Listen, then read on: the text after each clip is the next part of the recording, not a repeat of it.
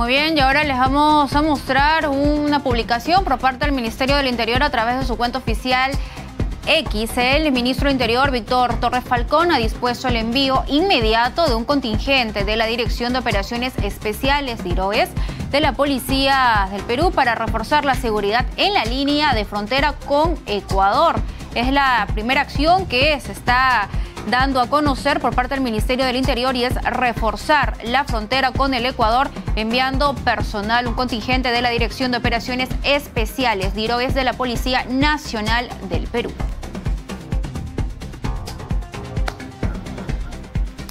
Muy bien, ya es momento de irnos a una nueva pausa, pero ya regresamos con mucho más.